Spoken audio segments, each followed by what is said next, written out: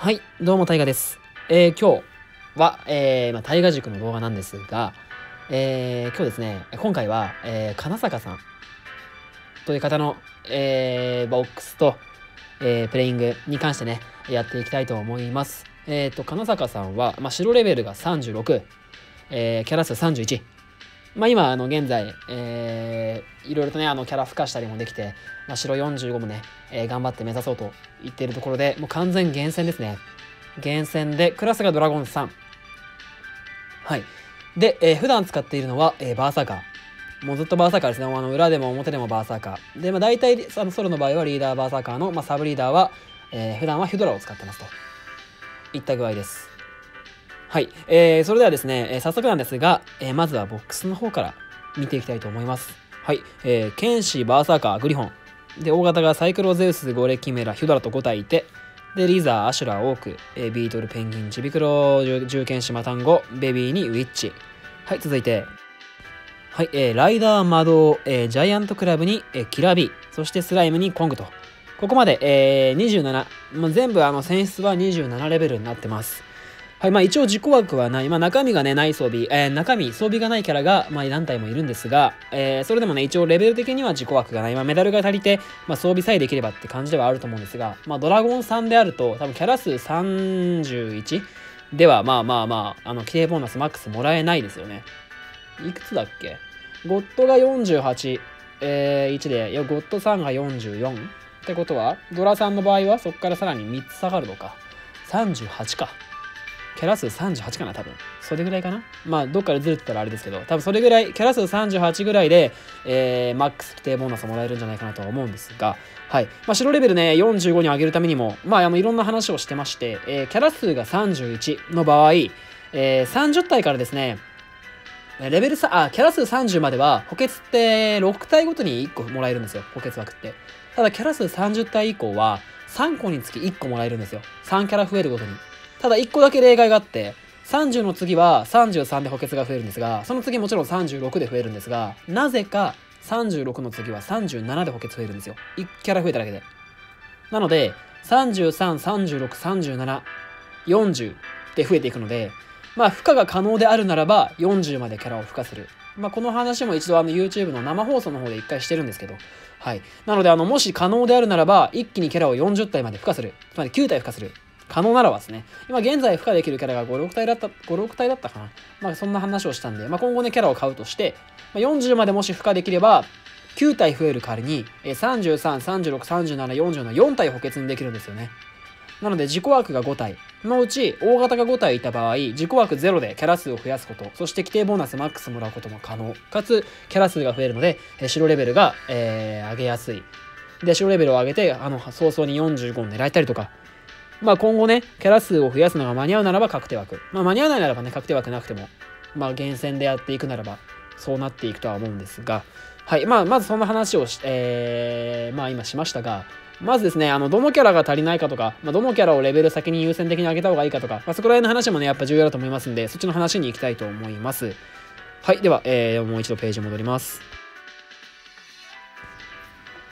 はい。それではですね、えー、まあまあ、バーサーカーはもちろん、あの、今後ね、あの、アビサにするんで32にするのは、まああるとして、まあすぐにね、しても、あの、45足りてないんで、まだあれですけど、はい。えー、大型はまあ今5体。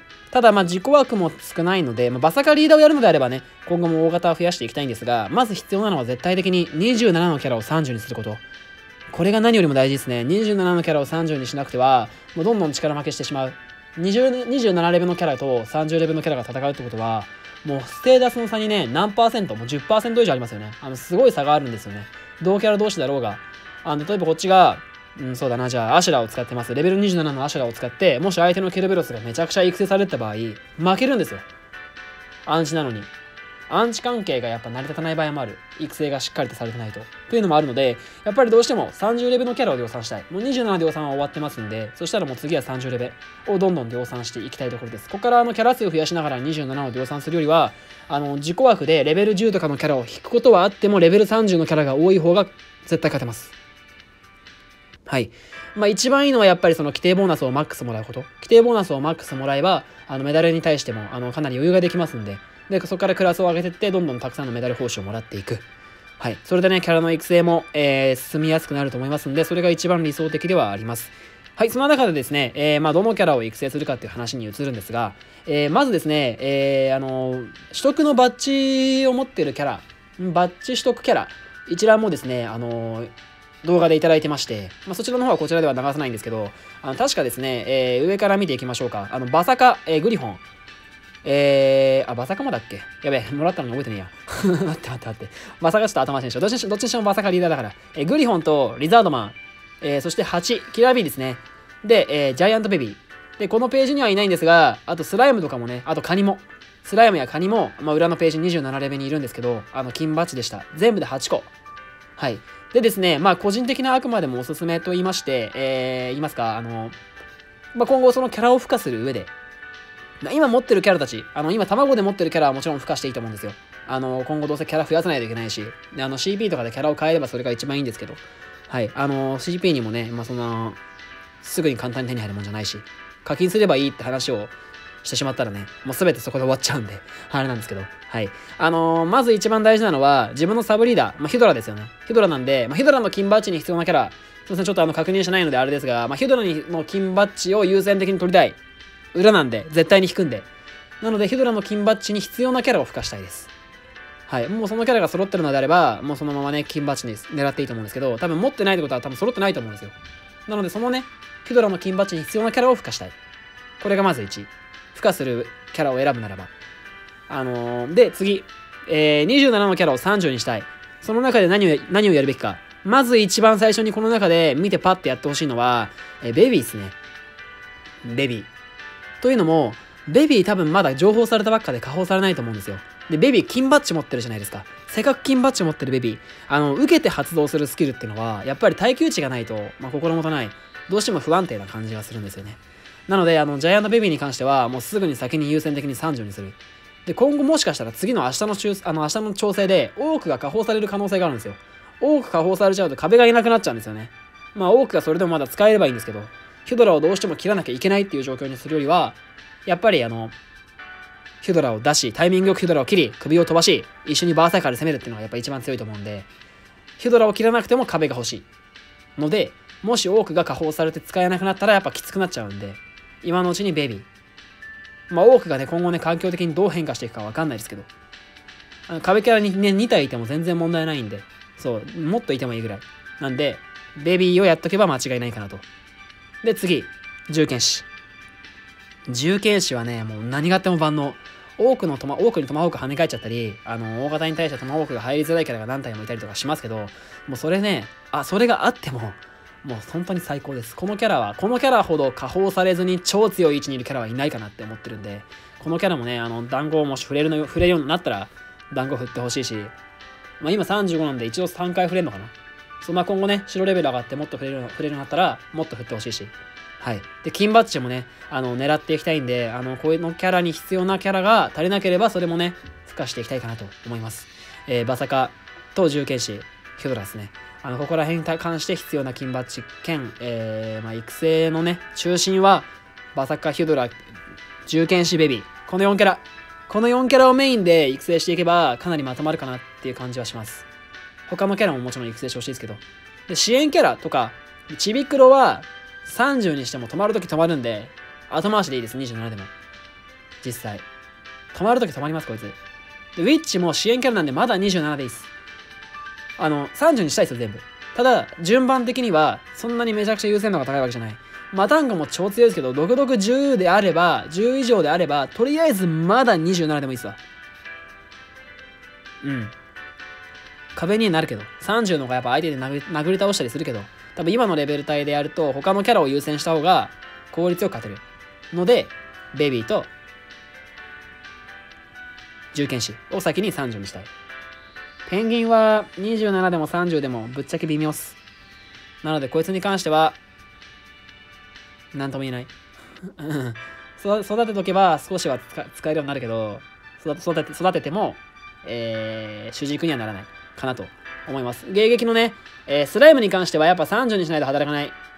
えーカニに関しては、うーん、なんとも言えないけど、まあまあ、どっちかっていうとカニよりも魔導やってほしい。かなと魔導30スライムも30迎撃だったらねこの2キャラをやっとけば今の持ってるキャラだったら問題ないんじゃないかなと思いますとりあえず、えーまとめますとまずはキャラを付加する持ってるキャラを付加していきたいで、えー自己枠が出たとしてもそのキャラを育成するよりは、えーレベル27のキャラを30にした方が勝てる。間違いなく。かなと。この2つ。で育成するキャラが、まあ、ベビーと重剣士を優先。できればいいかなと。思います。はいそんな感じで。ではね早速ね対戦動画の方やっていきましょう。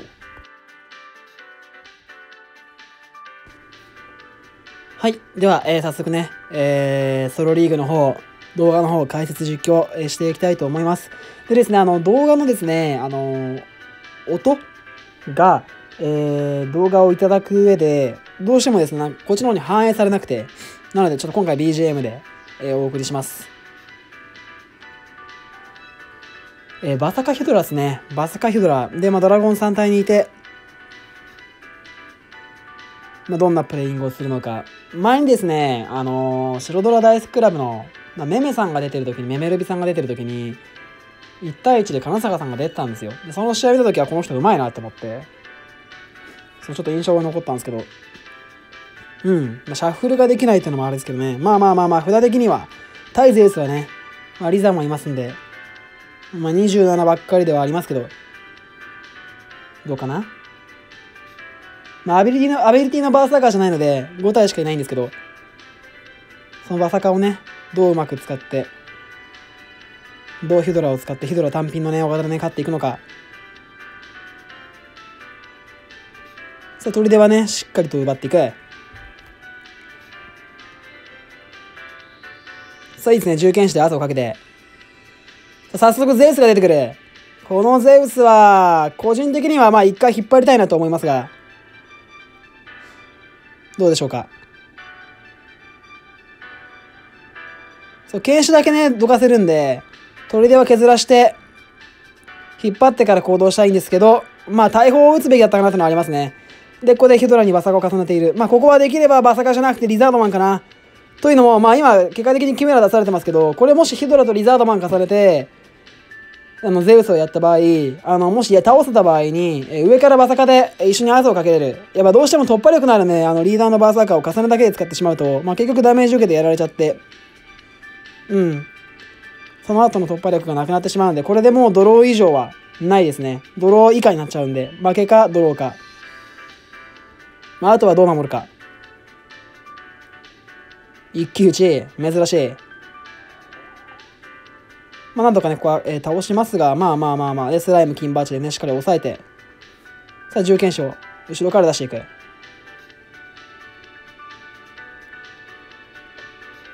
バカボンが重いっすね。さあキメラに戻ってもらって、ここでもう一回、カニを、えーそこで置いて、後ろもカニで見る。ただこれもちょっとですね、あの、このカニ、えー第2の前のカニがちょっと怖いかな。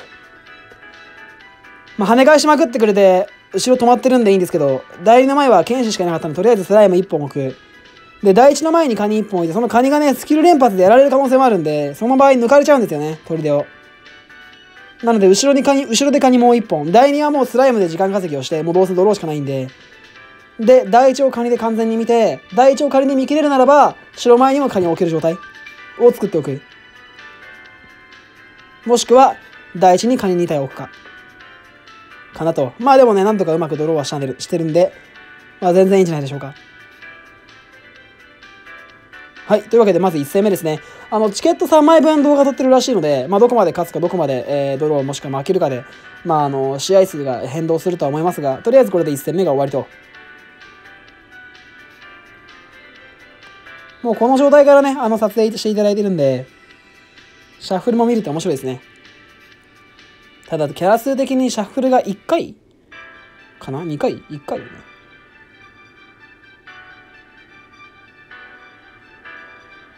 うん。ブルドラリーダー。まあ、ヒドラはね、ブルドラに結構やられちゃうんで、まあ、どのキャラを引くか。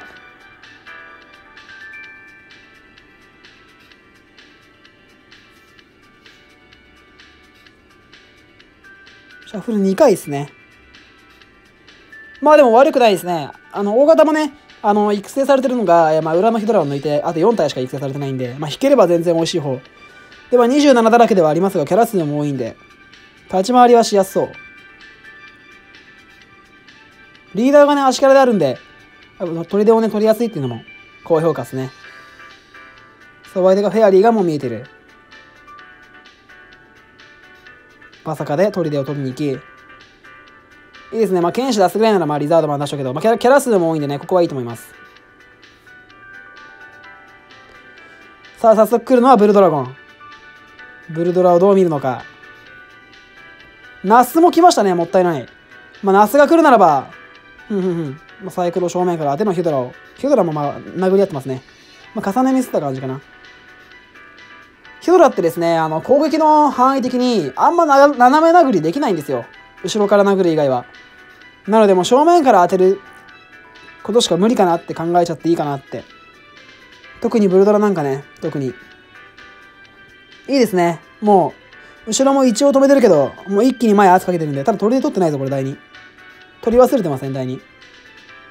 ヒドラの首とね、バサカを合わせるのは本当にいいタイミングだと思います。ただ第2を取り忘れてるんで、落城勝利と。よくありますけど、気づきましたね、これ。多分今これ、ここで気づきましたね。アップしてるからもったいない。まあまあまあまあ。まあ、ヒドラの首とね、バーサーカーを合わせるっていうのがなかなか強い。もう一気にね、あの、カウンターできるんで面白い組み合わせだと思います。まあ、お相手がもったいなかったですね、ヴィーナスを。なぜ切ったという感じではありますが、ミストアップしたかもしれないけど。そしてプリキャリーダー。マッチングしないかな、これは。しなそうっすね。いや、ヒュドラね、まあ、攻撃力アップして、まあ、かなり変わったんですよ。まあ、中型とかをね、重ねてこなければ殴るときにかなり削ってくれる。大型に対しても。ただやっぱ重ねられたら結局意味がない。もう吹っ飛んじゃうんで、なかなか難しいんですよね。まあ、首を飛ばすことが目的みたいな感じになる場合もあったり。で、意外とね、あの攻撃の、えー、範囲が狭いんで、あの、斜め殴りができない。サイクロとかをね、斜め殴りしようと思ってもできないんですよね。寄っちゃうんですよ。真下からやっても。真下？まあ、斜め前からやってもか。斜め前からやっても寄っちゃうんですよね。そしてお相手もヒュドラ。ヒドラミラーですね。ヒュドラを表で使ってる人は大体まあビーナスとか、たまにバルーンとかが多いイメージ。ただバルーンにするとね、あの、ヒドラがもうナスにめちゃくちゃ弱いんで、バルーンにしちゃうと2枚抜きされるんで、多分そんなこともないかなとは思うんですけど、シャッフルはどうするんだ？シャッフルします。ああ、まあ、キメラも育ってますからね。まあ、突破力はちょちょっとなんとも言えんですけど、まあ、首と、バーサーカーと、まあ、この2本ですよね。まあ、育成されてるキャラがね、ニコスが多いんで、テカさに関しては困らない。まあ、そこはいいとこですね。ただやっぱ火力がどうしても足りなくなっちゃうんで、重剣士が欲しいな。30フルで、団子もつけて。さあ、運が悪く、バーサーカーはどっか行ってしまう。取るでは取れず。いいですね。相手に足からがいるからか、バーサーカーを一本切りして。正解ですね。足からいるときに、あの、どっちが取れるか分かんない状態で、バーサーカー、リーダーのバーサーカーを2本切るのはもったいないですからね。取り出が危ないが、まあ、しっかり見て。後ろもまた5で見切って。うん、いい感じ。しかし、残念なことに、まあ、カニも見えているんで、カニもきついんですが、雪インコが抜けない、これ。これは無理だな。もうドドローンの匂いしかしない。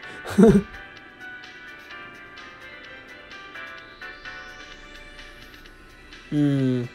ちょっと厳しいですね。まあ、相手が早めに攻めてくれればいいですけどね、早めに攻めてくれればこっちもコストがあるうちにね、ドローに持っていけるんですけど、あんまゆっくり攻められると、こっちもコスト溢れるだけで、キャラをね、消費するだけなんで、なかなか厳しいところ。ゆっくり攻めてこないでほしいな、相手から、相手には。結構テンポよく攻めてきてほしいところではありますが、雪インコが一生雪を作っている。まあ、ワンパンにもさせてくれず。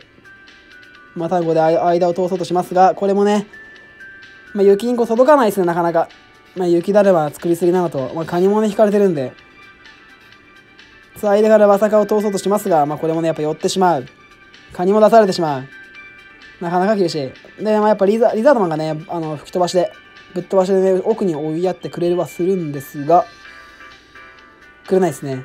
もう完全ドローの流れですね。あとはもう注意。相手のね、ヒドラの首に対して、どう注意できるか。何かの間違いでワンパンとか入ったらマジでもったいないんで、さあ先にヒドラを切っていく。そして横からキメラを切っていくが、コング、ショー、正解ですね、これはもう。何かある前に先に置いておく。首が飛んできても対応できるように。あとは一応バサカは出しますが、まあどうしてもやっぱ止められてしまうとね。相手札めっちゃ強いな。攻めてくればよかったのにね。もったいない。ヒュードラ結構早めに切ったらワンチャンあったんじゃないかな。ナスもいるし。バサカもいるし、ベビーもいるし、30フルだし。まあでも、ゆっくり攻めてきてくれたおかげで、まあ相手ね、ドローにできたのかなと。相手ってか、の相手がドローになってしまったのかなと。雪んこ重かったな。ヒドラナス。いいですね。前もって今後置いといて、コストがなくなる前にしっかりと保険を置いておく。で、首が飛んできても絶対に大丈夫な位置。なんとかドローと。さあ、これでチケット2枚終わりなんで、ラストチケットですね。このラストチケットで、えー、動画の方、えー、試合の方に終わっていきますと。そして相手はリーダーガール。ガール強いですからね。相変わらず。ヒュドラからするとガールは本当にね、天敵なんで、もう火力高すぎて一瞬で持ってかれる。再生する前に持ってかれるんで、まあどう処理していくのか見ものでございますが、いかがでしょうか。ほう。面白いんじゃないですかまあ、鳥で削れる中型がバーサーカーしかいないっちゃいないんですけど、まあ、グリフォンの金バッジっていうのが面白いのと、まあ、魔導がね、やっぱ手堅く強く、手数のあるスライム、そしてサイクロプスがね、やっぱアンチなんで、札は悪くないですね。まあ、どうしてもやっぱスライムが代わりに中型のね、進撃で、オークとかリザとか、そういう系を引き出ればもっと良かったんですけど、まあまあまあ、それでも悪くはない。相手が足いないんでね、これ取り手さえ取れれば、ヒドラの首ワンチャンがあるな。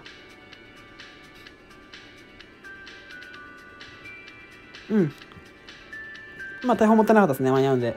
これはスライムを、まあ、置いてゆっくりと展開して、あとはグリフォンをどこで使うか、やっぱりどうしても相手のね、コストを使わせた後に使いたい。そして相手チビブルが見えると。早々に見えたのはでかいですね。これで、えー、グリフォンをね、チビブルに対して気をつけて使えるんで。ただ、でかいっちゃでかいですけど、あのチビブル見れないんですよ。札的に。きついな。窓を置く以外選択肢がない。これはもう点差勝ち狙って、ゆっくりですね。グリフォンが、うん、まあ大砲打たれなければいいけど、どうだろう。まあ、チビブル切ってきますよね、そりゃ。まあ、これはしょうがない。その代わりね、上のラインが開くんで、ただ上のライン開きますけど、今のグリフォンちょっともったいないんじゃないかな。ここでグリフォン切っちゃうと大砲打たれるよね、やっぱり。で、止められてしまうと突破力がなくなって点差勝ちが狙えなくなる。やっぱりここは一回待って、大型戦して、チビブルもう一本切らして、から両サイドグリフォンでお互いコースないっていうのが一番理想的だったんじゃないかなと思いますが、まあ、砦をね、取られたのはしょうがない、もうそれは。で、ちゃんと後ろに窓を置いとけばね、一応保険にはなるんで。中型もしっかり見ているが、固まったからサイクロプスを切ったものの、まだ相手は大型が来ていない。まあ、ガールが来て、ガールには相性はいいんですが、まあ、やられますと。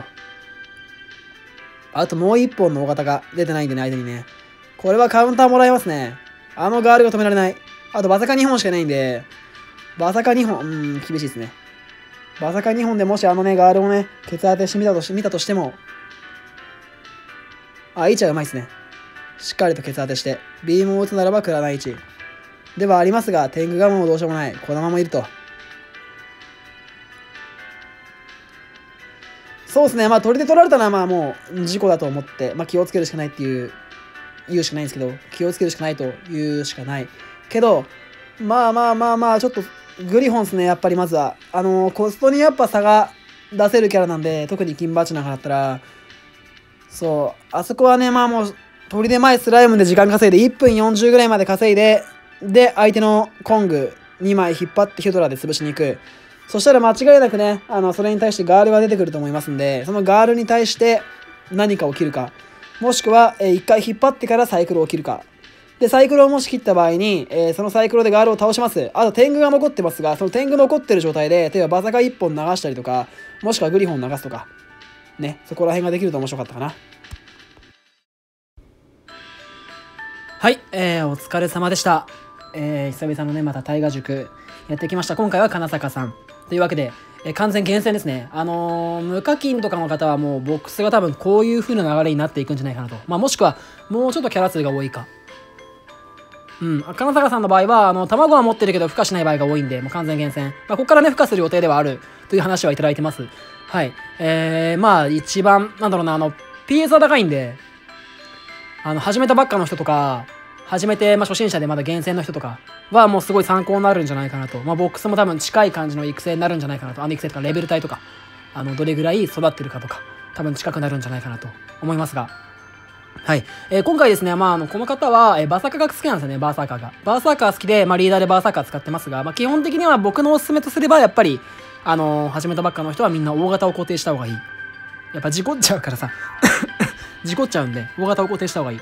まあ、ただやっぱこだわりがある人がいるんですよね。あの金坂さんであれば、バーサーカーがすごい好きとか、他の人であれば、でもこのキャラが好きとか、中型のこのキャラが好きで、このキャラ固定したいとか、いらっしゃると思うんで、あの、そういうね、こだわりがある人はそれをやるべきなんですよ。自分の好きなキャラ使えないのがね、一番楽しくないんで。ただまあ、どのキャラでもとりあえずいいや、あの、戦えれば、勝てればっていう感じだったら、いかに勝率を上げるかを考えるならば、やっぱり大型固定を最初にした方がいいとは思います。これは他の方へのメッセージですね。金坂さんはこのままで別にいいと思います。バサカを使ってるんで、ずっと使ってるの知ってるんで。はい。そんな感じで、えー今回はやっていきました。まあ、なかなかね、面白い試合もあったりとか。うん。あとはもう、45レベルがすごい楽しみですね。アビさんのバーサーカーを持ったらどうなのか、もうすごい今今から楽しみではありますが、はい、えー期待して待っておきましょうというわけで、えー今回も見ていただいた方ありがとうございました。またよかったら、えーぜひ遊びに来てください。では、お疲れ様です。